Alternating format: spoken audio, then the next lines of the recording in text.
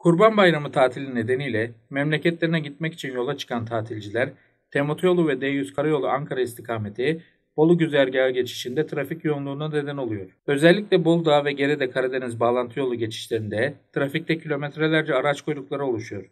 Tatilcilerin sorunsuz bir yolculuk yapmaları için tedbirlerini arttıran İl Emniyet Müdürlüğü ekipleri, sürücüleri hız yapmamaları, trafik mesafelerini korumaları ve emniyet kemerlerine takmaları konusunda uyarıyor.